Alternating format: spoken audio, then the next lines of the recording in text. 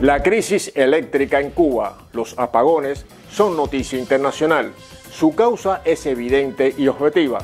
La precariedad tecnológica de las centrales eléctricas de un país sin divisas y bajo el bloqueo de Estados Unidos. Pero lo que leemos es que todo se debe al fracaso del comunismo, a un supuesto Estado fallido. Por cierto, en Puerto Rico, con el servicio eléctrico privatizado, también hay constantes apagones. ¿Será culpa del comunismo? Si en Cuba grupos de personas protestan desesperadas por los cortes de luz, nos aseguran que la gente muestra así su desacuerdo con el régimen y sale a las calles a pedir libertad.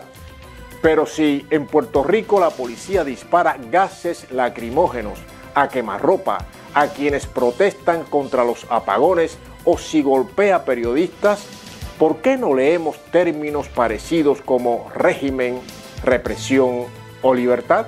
Por cierto, en tiempos de inflación, en Cuba no ha habido subida alguna del precio de la luz, que en Puerto Rico ha sido de un 60%.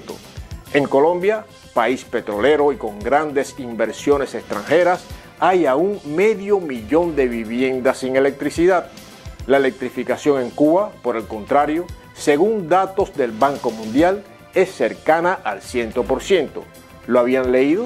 Y es que la retórica del Estado fallido aplicada ahora a Cuba va siempre unida a la petición directa o velada de una intervención humanitaria por parte de Estados Unidos.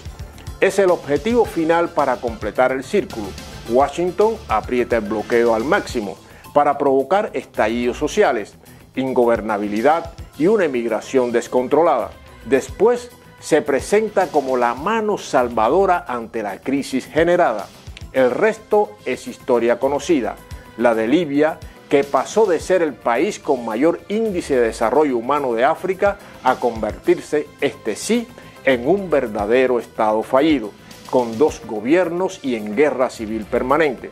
O la de Siria, donde Estados Unidos, tras instigar una guerra civil de 10 años, hoy sigue robando el petróleo del país a razón de 66 mil barriles diarios, sin que a los medios les interese lo más mínimo.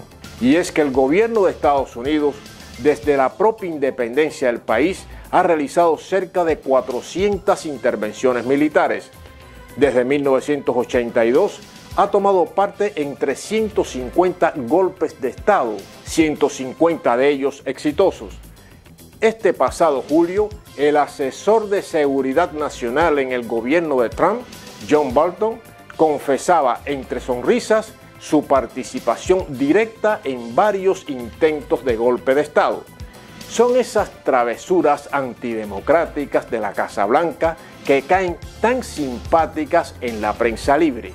Venezuela, el bloqueo de Estados Unidos consiguió destruir hasta el 99% de todos sus ingresos petroleros, con consecuencias sociales igual que para Cuba dramáticas. Sin embargo, para este año se prevé que la economía venezolana crezca no menos del 10%, y es que el cerco político, económico y mediático contra Caracas definitivamente ha fracasado. ¿Quieren la muestra? El diario El País, que hace bien poco seguía catalogando a Juan Guaidó como presidente interino respaldado por más de 50 países y que ya lo ha degradado a candidato opositor. Pero las heridas de la guerra económica contra el pueblo de Venezuela tardarán mucho en sanar y sus culpables están en la hemeroteca, los gobiernos, partidos políticos y periodistas que reconocieron a un pelele golpista impuesto por Donald Trump. Hoy, la vicepresidenta de Argentina, Cristina Fernández, sufre una persecución judicial para que no pueda presentarse a las próximas elecciones, algo similar a lo sufrido en Brasil por Lula.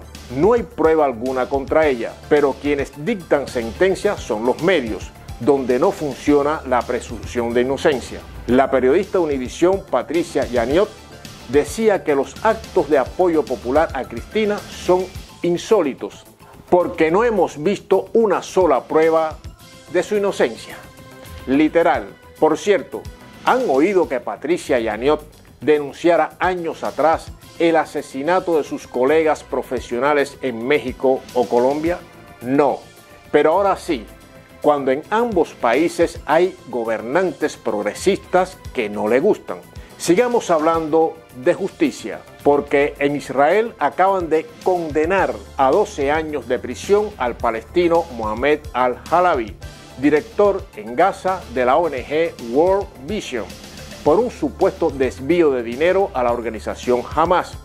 La ONG, con sede en Nueva York, así como su principal donante, el gobierno de Australia, ya realizaron sendas auditorías que descartaron cualquier operación irregular.